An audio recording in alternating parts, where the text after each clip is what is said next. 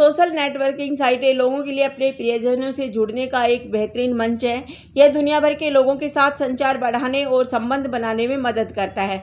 हालाँकि लोगों का मानना है कि सोशल नेटवर्किंग साइट्स हानिकारक तो होती ही है, साथ ही बहुत फ़ायदेमंद भी है। इसके अलावा हम सोशल नेटवर्किंग साइटों को ब्लॉगिंग व्लॉगिंग पॉडकास्टिंग और अन्य के अनुसार वर्गीकृत कर सकते हैं। हम विभिन्न उपयोगों के लिए सोशल नेटवर्किंग साइटों का उपयोग करते हैं। इससे हमें बहुत मदद मिलती है। हालाँकि बहुत खतरनाक भी है। हमें सोशल नेटवर्किंग साइटों के उपयोग की निगरानी करनी चाहिए और इनके उपयोग को सीमित करना चाहिए ताकि यह हमारे जीवन पर हावी न हो जाए। सोशल नेटवर्किंग साइट्स के फ़ायदे और नुकसान। सोशल नेटवर्किंग साइट्स अब हर जगह है।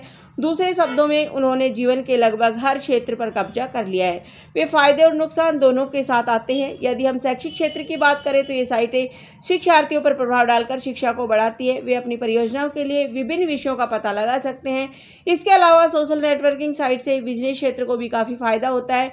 कंपनियाँ अपने संभावित ग्राहकों और व्यावसायिक भागीदारों के साथ बेहतर तरीके से जुड़ने के लिए सोशल नेटवर्किंग साइटों का उपयोग करती है। इसके अलावा नौकरी की तलाश में लोग नियोक्ताओं और फर्मों के साथ बेहतर तरीके से जुड़ने के साथ साइटों का उपयोग करते हैं। इससे उन्हें बेहतर नौकरियाँ तलाशने का शानदार अवसर मिलता है। वहीं दूसरी ओर सोशल नेटवर्किंग साइट्स के नुकसान भी बहुत ज़्यादा है। वे साइबर बुलिंग, यौन शोषण, धन घोटाले और बहुत कुछ जैसे साइबर अपराधों को जन्म देते हैं। यह बच्चों के लिए बहुत हानिकारक है, क्योंकि लोग उन्हें असली साहित्य आदि का शिकार बनाते हैं। यह बच्चों की जानकारी तक, पीड़ोफाइल तक आसान पहुँचती प्रदान करता है।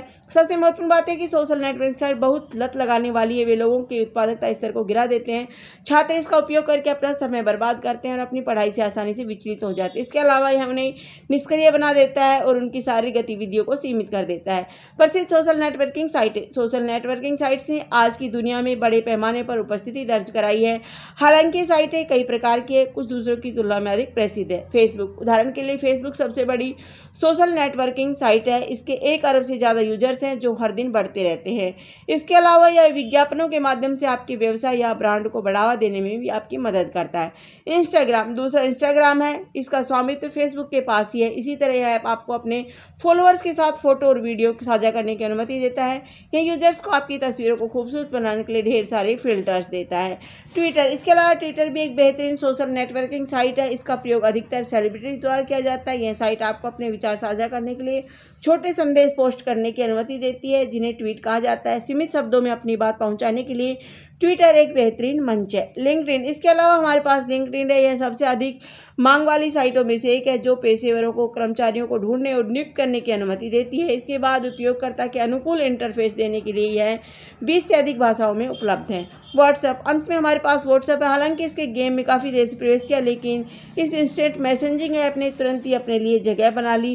फेसबुक ने इस ऐप को भी हासिल कर लिया है। यह आपको टैक्स संदेश, चित्र वीडियो ऑडियो दस्तावेज़ और बहुत कुछ साझा करने की अनुमति देता है संक्षेप में सोशल नेटवर्किंग साइटें अभिशाप और वरदान है। यह हम पर निर्भर करता है कि हम इसका उपयोग कैसे करते हैं। किसी भी चीज़ की अधिकता हानिकारक होती है, इसी तरह सोशल नेटवर्किंग साइटें भी अपने लाभ के लिए उनका उपयोग करें और उन्हें अपने जीवन पर नियंत्रण न करने दें। धन्यवाद। जय हिंद।